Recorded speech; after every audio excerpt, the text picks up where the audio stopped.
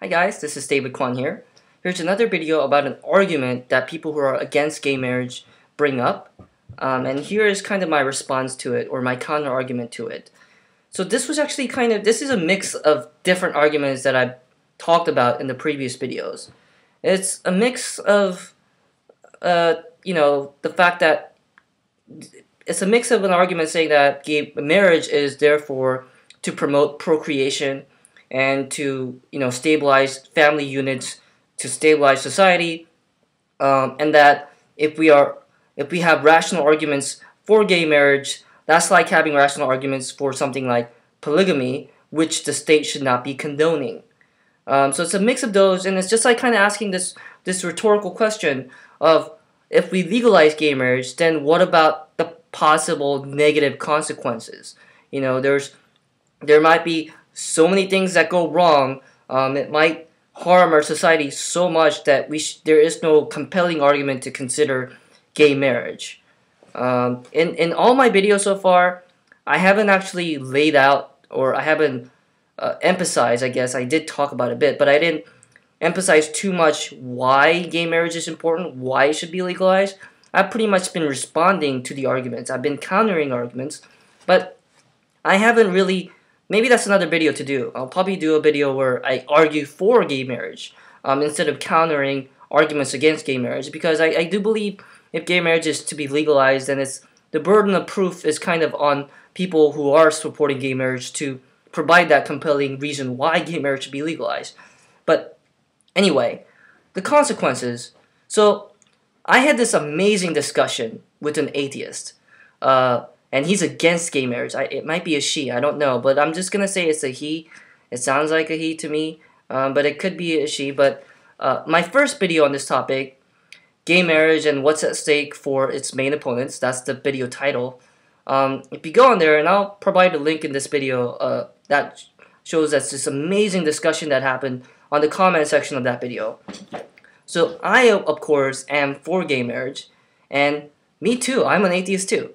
And this guy, S-K-L-A-N-G-E-R, Sklanger, I don't even know how to pronounce that. He's also an atheist. That's against gay marriage. Uh, which to me was just like, wait, what? How's that possible? The, what kind of arguments do you have? Let's talk. Uh, and, and turns out he's not an idiot. So that was surprising. Um, you know, an atheist arguing against gay marriage and not sounding like a total bigot.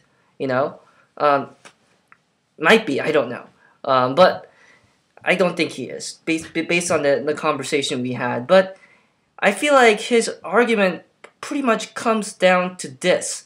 You know, hey, we know from all evidence out there that all the evidence shows this that the children do best under biologically married parents, under biological parents.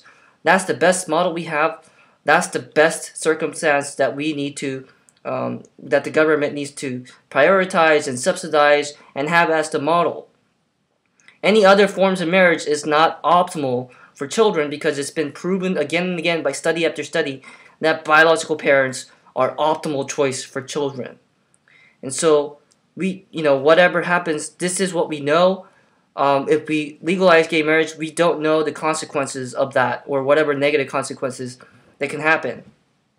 So this debate led to a lot of different areas. Um, it did, you know, I even mentioned, you know, the fact that, you know, Massachusetts has had gay marriage legalized for about six years, seven years, I think, you know, for, for about that amount of time. And that's in a that's in an environment where even the federal government does not recognize gay marriage. So even there's stigma still uh, for for gay married couples there. They still don't have the federal benefits that come along with marriage. Massachusetts has not had any negative consequences because of gay marriage, but he's saying that 10 years is not enough to, to know, um, you know, to, to be able to have a final say in the matter. Which, okay, it's a valid point. You do, I guess you do need longer ten, than 10 years to do a comprehensive study on, on whether gay marriage will negatively affect, affect society or not. Sure. What I do know is this. What I do know is that by not legalizing gay marriage, uh, society is harmed. But because gays aren't able to marry, overall society is in a negative position. Um, these people are denied rights, so there's discrimination there. There's a whole bunch of children that are could be raised under gay parents.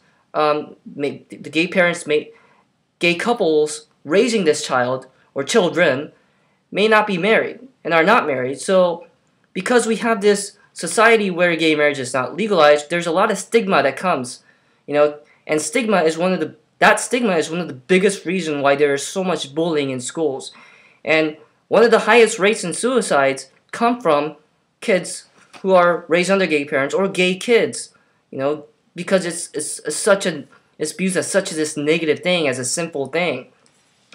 Um, and because they're not granted the federal rights, so we have the, all these kind of issues. We have bullying in schools, suicide, discrimination. So what I know so far is that in this status quo, um, society is not optimal. You know, so and and there's, I guess there's not enough studies done on this. Um, and the atheist guy Sklanger says the the studies that show that um, you know that that compares gay married parents to straight married parents and seeing their comparing the children raised under them and not seeing too much difference on their welfare Sklanger argues that those studies are flawed and biased or not properly done or whatever. I argue that there's not enough of those studies to know for sure. So we don't know for absolutely sure, you know, what kind of negative effects it will have. I don't think there's any, um, but that's personal opinion, not founded on study after study after study, you know? Um, but we have this situation where society is not optimal and isn't that what laws are for? To, to make sure society is run optimally as possible. Sklanger argues that the consequences could be negative, and therefore we need to stick with what we know best. We know best that um, children raised under biological parents fare the best, usually, on average. Um, that's, that's proven study after study after study that non-biological parents, non-biological guardians, children raised under them do not fare as well. And so ultimately for the children and for the family unit, biological parents are the way to go. That's what we know. That's what we should stick with. So because I feel like so the argument comes down to this. You are scared of negative consequences even if they're not there. You're not sure if you whether you know these consequences or not. You argue that biological parents are better than non-biological. But there hasn't been enough studies about specifics, about gay married parents versus straight married parents. Not just biological versus non biological, but gay married parents, gay parents to straight parents. There has been a few studies, and they're starting to show. He would say that those studies are flawed, but regardless, those studies show that there is not much difference. There is no negative consequences there. If we are scared of the consequences, and that's the compelling reason to not legalize gay marriage, all I can say is look at the situation now. It's you know there it's it's people are harmed by not legalizing gay marriage. Not just gay people who can't marry, but society as a whole. Because of children being raised under by gay parents currently. If gay parents were able to be married and had the same benefits as married couples and married families, those children would definitely be in a better state. There would be less bullying.